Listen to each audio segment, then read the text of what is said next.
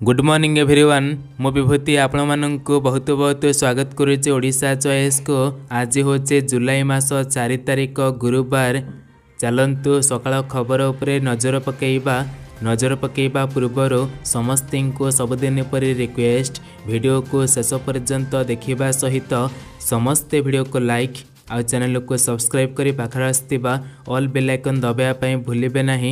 ଚାଲନ୍ତୁ ଖବର ଉପରେ ନଜର ପକାଇବା। ଲେଟ୍ ଷ୍ଟାର୍ଟ ହେଉଛି ରାଜ୍ୟବାସୀଙ୍କୁ ବଡ଼ ଝଟକା ବନ୍ଦ ହୋଇପାରେ ମୋ ଘର ଯୋଜନା ସଙ୍କେତ ଦେଲେ ମନ୍ତ୍ରୀ। ରାଜ୍ୟବାସୀଙ୍କ ପାଇଁ ଆସିଅଛି ଏକ ବଡ଼ ଖବର ମୋ ଘର ଯୋଜନା ବନ୍ଦ ହୋଇପାରେ। ଏହି ଯୋଜନାକୁ ନେଇ ସାମ୍ନାକୁ ଆସିଅଛି ଏକ ବଡ଼ ଅପଡେଟ୍ ଆମ ଗାଁ ଆମ ବିକାଶ ଓ ମୋ ଘର ଯୋଜନା ବନ୍ଦ ହୋଇପାରେ ଏନେ ଏକ ବଡ଼ ସଙ୍କେତ ଦେଇଛନ୍ତି ରାଜ୍ୟ ସରକାରଙ୍କର ଗ୍ରାମ ଉନ୍ନୟନ ପଞ୍ଚାୟତରାଜ ଓ ପାନୀୟ ଜଳ ମନ୍ତ୍ରୀ ରବି ନାରାୟଣ ନାୟକ। ପରବର୍ତ୍ତୀ ଅପଡେଟ୍ ହେଉଛି ମହାରାଷ୍ଟ୍ର ବଜେଟ୍ ଦୁଇହଜାର ଚବିଶ ପ୍ରତି ମହିଳାଙ୍କୁ ମିଳିବ ପନ୍ଦରଶହ ଟଙ୍କା ଭତ୍ତା ପରିବାର ପିଛା ମିଳିବ ତିନୋଟି ମାଗଣା ସିଲିଣ୍ଡର ମହାରାଷ୍ଟ୍ର ଉପମୁଖ୍ୟମନ୍ତ୍ରୀ ଅଜିତ ପାୱାର ଶୁକ୍ରବାର ବିଧାନସଭାରେ ରାଜ୍ୟ ବଜେଟ୍ ଦୁଇହଜାର ଚବିଶ ପଚିଶ ଉପସ୍ଥାପନ କରିଛନ୍ତି। ଏହି ବଜେଟରେ ମହିଳାଙ୍କୁ ମାସିକ ପନ୍ଦରଶହ ଟଙ୍କା ଭତ୍ତା ଦେବାକୁ ଘୋଷଣା କରାଯାଇଛି। ଏକୋଇଶରୁ ଷାଠିଏ ବର୍ଷ ବୟସର ମହିଳାଙ୍କୁ ଏହି ଭତ୍ତା ମିଳିବ।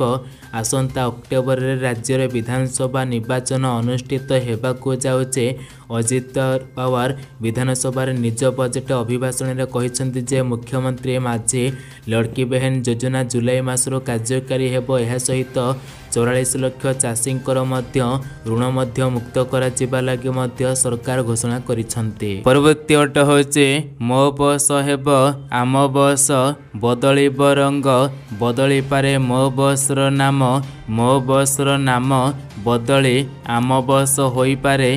ଆବଶ୍ୟକ ହେଲେ ଏନେ ଆଲୋଚନା ହେବ ବୋଲି ନଗର ଉନ୍ନୟନ ମନ୍ତ୍ରୀ ଡକ୍ଟର କୃଷ୍ଣଚନ୍ଦ୍ର ମହାପାତ୍ର କହିଛନ୍ତି ତେବେ ଆଜି ମୋ ବସରେ ଡକ୍ଟର ମହାପାତ୍ର ଯାତ୍ରା କରିଥିଲେ। ସାମ୍ବାଦିକମାନଙ୍କ ସହିତ କଥାବାର୍ତ୍ତା ବେଳେ ସେ କହିଛନ୍ତି ମୋର ଅର୍ଥ ହେଉଛି ଅହମ୍ଭାବ।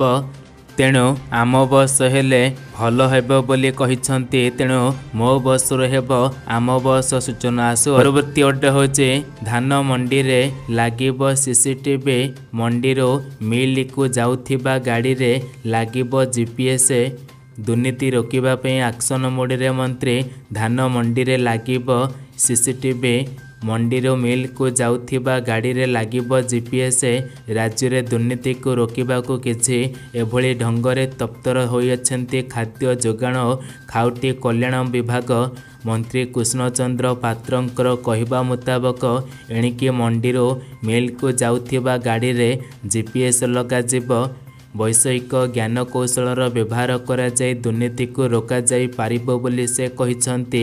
ଖାଲି ସେତିକି ନୁହେଁ ଏନେ ବିଭାଗୀୟ ଅଧିକାରୀଙ୍କୁ ମଧ୍ୟ ସେ ନିର୍ଦ୍ଦେଶ ଦେଇଛନ୍ତି ଆସନ୍ତା ଦୁଇ ମାସ ଭିତରେ ନୂଆ ବ୍ୟବସ୍ଥା ଆରମ୍ଭ ହେବ ବୋଲି ଖାଦ୍ୟ ଯୋଗାଣ ଓ ଖାଉଟି କଲ୍ୟାଣ ବିଭାଗର ମନ୍ତ୍ରୀ କୃଷ୍ଣଚନ୍ଦ୍ର ପାତ୍ର ସୂଚନା ଦେଇଛନ୍ତି। ଅପଡେଟ୍ ହେଉଛି ପୁଣି ସାମାନ୍ୟ ବଢ଼ିଲା ସୁନା ଦର।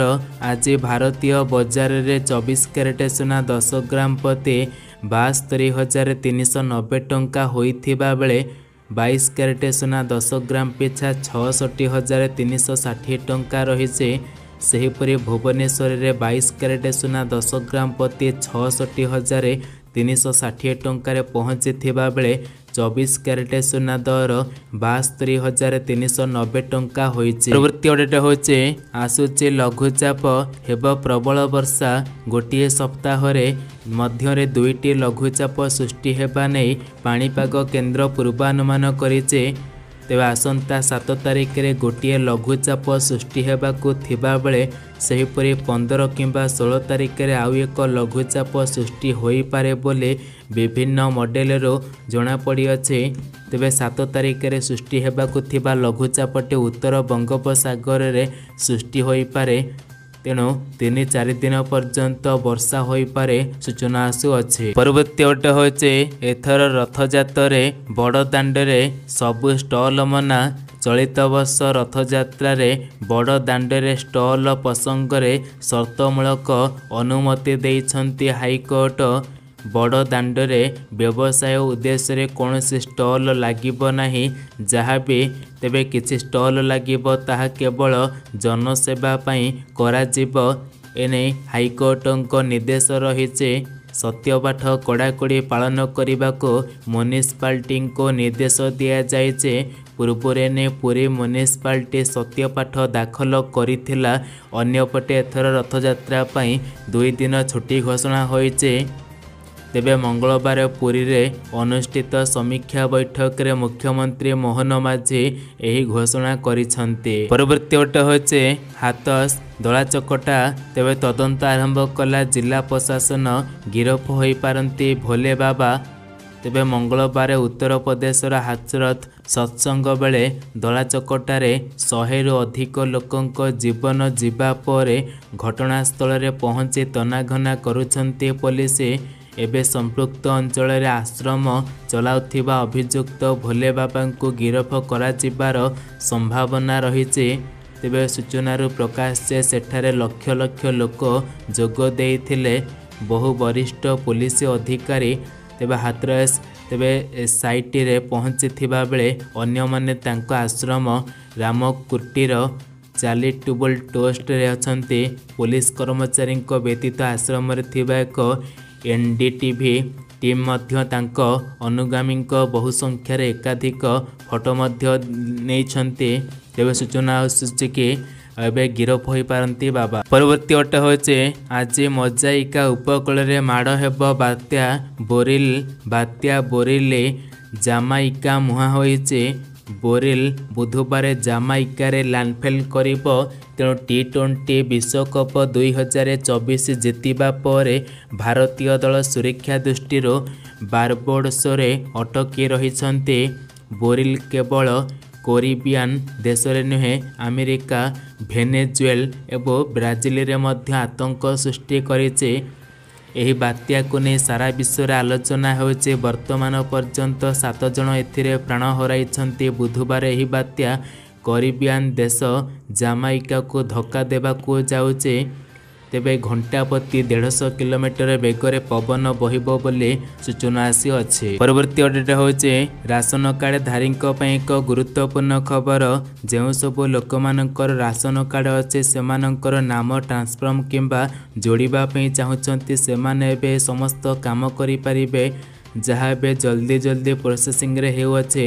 ଏହା ସହିତ ରାସନ କାର୍ଡ ନୂଆ ଆବେଦନ କରିପାରିବେ। ଯାହା ପୂର୍ବରୁ ଯେଉଁମାନେ ଆବେଦନ କରିଥିଲେ ସେମାନଙ୍କର ଲିଷ୍ଟ ଖୁବ୍ ଶୀଘ୍ର ଆସିବ ବୋଲି ସୂଚନା ଆସୁଅଛି ପରବର୍ତ୍ତୀ ଅଟେ ହେଉଛି ପାଞ୍ଚ ଦିନ ଧରି ରାଜ୍ୟର ବିଭିନ୍ନ ଜିଲ୍ଲାରେ ହାଲୁକାରୁ ମଧ୍ୟମ ଧରଣର ବର୍ଷା ସମ୍ଭାବନା ରହିଛି। ଆଗାମୀ ପାଞ୍ଚ ଦିନ ଧରି ରାଜ୍ୟର ବିଭିନ୍ନ ଜିଲ୍ଲାରେ ହାଲୁକାରୁ ମଧ୍ୟମ ଧରଣର ବର୍ଷା ସମ୍ଭାବନା ତେବେ କାଲି ପ୍ରବଳ ବର୍ଷା ପାଇଁ ସୁନ୍ଦରଗଡ଼ ଝାରସୁଗୁଡ଼ା ସମ୍ବଲପୁର ଓ ବରଗଡ଼କୁ ୟେଲୋ ୱାର୍ଣ୍ଣିଂ ଦିଆଯାଇଛି। ସେହିପରି ଛଅ ସାତ ତାରିଖ ବେଳକୁ କିଛି ଜିଲ୍ଲାରେ ପ୍ରବଳ ବର୍ଷା ହେବ। ଏନେ ପୂର୍ବାନୁମାନ କରିଛି ଭୁବନେଶ୍ୱର ପାଣିପାଗ କେନ୍ଦ୍ର। ମଧ୍ୟପ୍ରଦେଶ ଏବଂ ଛତିଶଗଡ଼ ଉପରେ ଏକ ଗୁରୁଚାପ ବଳୟ ସକ୍ରିୟ ରହିଥିବା ବେଳେ ଉତ୍ତର ବାଂଲାଦେଶ ଏବଂ ପାର୍ଶ୍ୱବର୍ତ୍ତୀ ଅଞ୍ଚଳ ଉପରେ ଘୂର୍ଣ୍ଣିବଳୟ ସକ୍ରିୟ ରହିଛି। ଏହାର ପ୍ରଭାବରେ ଓଡ଼ିଶାରେ ଆଗାମୀ ପାଞ୍ଚ ଦିନ ପର୍ଯ୍ୟନ୍ତ ବର୍ଷା ଲାଗି ରହିବ। ରାଜ୍ୟରେ ଜୁନ୍ ଏକରୁ ଏପର୍ଯ୍ୟନ୍ତ ପଚିଶ ପ୍ରତିଶତ ନିଅଣ୍ଟିଆ ବର୍ଷା ରେକର୍ଡ ହୋଇଅଛି। ପରବର୍ତ୍ତୀ ଅଟେ ହେଉଛି କାଳିଆ ଯୋଜନାକୁ ନେଇ ଆସିଲା ଏକ ବଡ଼ ଅପଡେଟ୍। କାଳିଆ ଚାଷୀଙ୍କ ପାଇଁ ଖୁସି ଖବର ମିଳିବ ଆକାଉଣ୍ଟରେ ଦୁଇ ହଜାର ଟଙ୍କା ବର୍ଷର ପ୍ରଥମ କିସ୍ତି ଏବେ ମିଳିବା ପାଇଁ ଯାଉଛି। ତେବେ ଅକ୍ଷୟ ତୃତୀୟା ଦିନ କାଳିଆ ଯୋଜନା ଟଙ୍କା ମିଳିଥାନ୍ତା କିନ୍ତୁ ଏବେ ନିର୍ବାଚନ ପାଇଁ ମିଳିପାରିନଥିଲା ଯାହା ଏବେ ଚାଷୀଙ୍କ ଖାତାରେ ମିଳିବା ପାଇଁ ଯାଉଛି। କିଛି ଲୋକ ତ ଏମିତି ଭାବିଛନ୍ତି କି କାଳିଆ ଟଙ୍କା ମିଳିବ ନାହିଁ କିନ୍ତୁ ଯୋଜନା ଯେଉଁ ଲାଗୁ ହୋଇଛି ତାହା ମିଳିବ ଏବଂ ବଜେଟ୍ ମଧ୍ୟ ବିଲ୍ ପାସ୍ ହୋଇସାରିଛି ଆସନ୍ତା ତିନି ବର୍ଷ ପର୍ଯ୍ୟନ୍ତ ଯାହା ଏବେ ମିଳିବା ପାଇଁ ଯାଉଛି। ଖୁବ୍ ଶୀଘ୍ର ଆକାଉଣ୍ଟରେ ତେବେ ସୂଚନା ଆସୁଅଛି କି ଜୁଲାଇ ମାସର ପନ୍ଦର ତାରିଖରୁ ନେଇ କୋଡ଼ିଏ ତାରିଖ ଭିତରେ କାଳିଆ ଟଙ୍କା ମିଳିଯିବ ବୋଲି ସୂଚନା ଆସୁଅଛି। ପରବର୍ତ୍ତୀ ଅଟେ ହେଉଛି ପୋଲିସକୁ ବାସ୍ତରୀ ଘଣ୍ଟାର ସମୟ ଦେଲା କଂଗ୍ରେସ ଆକ୍ରମଣକାରୀଙ୍କୁ ତୁରନ୍ତ ଗିରଫ କରିବା ପାଇଁ ଦାବି ନଚେତ ବିଜେପି ଅଫିସ ଘେରାଉ କରିବାକୁ ଚେତାବନୀ ପୁଲିସକୁ ବାସ୍ତରି ଘଣ୍ଟାର ସମୟ ଦେଲା କଂଗ୍ରେସ। ଗତକାଲିର ଘଟଣାରେ ତୁରନ୍ତ ଆକ୍ରମଣକାରୀଙ୍କୁ ଗିରଫ କରା ନ ଗଲେ ସାରା ରାଜ୍ୟରେ ଆନ୍ଦୋଳନ କରିବ କଂଗ୍ରେସ।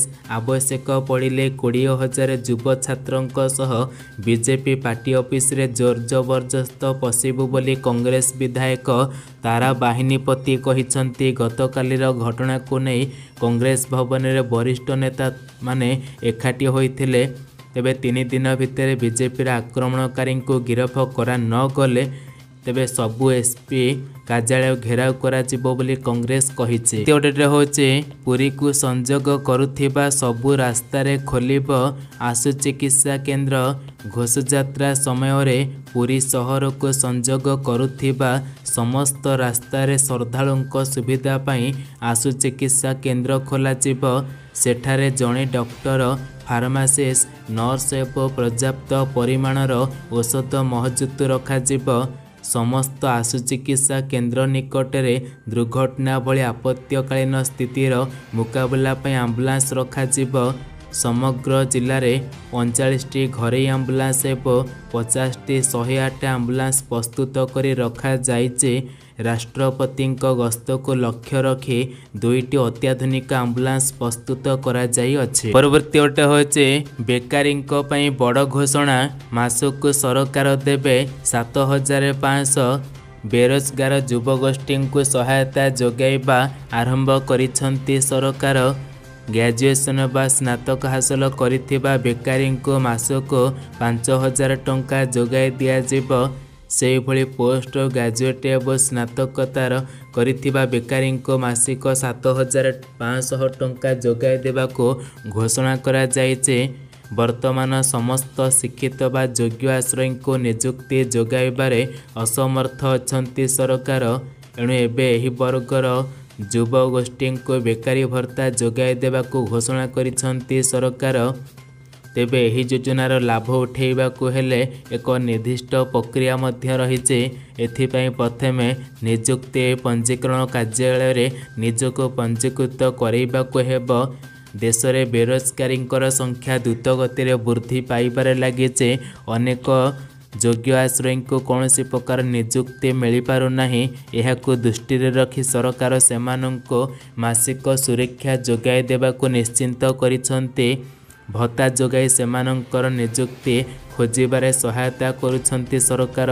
ଦିଲ୍ଲୀରେ ସୂଚନା ଆସୁଅଛି। ବାସ୍ ଏଇ ଥିଲା ଇନଫର୍ମେସନ୍ ଭିଡ଼ିଓଟି ଶେଷ ପର୍ଯ୍ୟନ୍ତ ଦେଖିଥିବାରୁ ବହୁତ ବହୁତ ଧନ୍ୟବାଦ।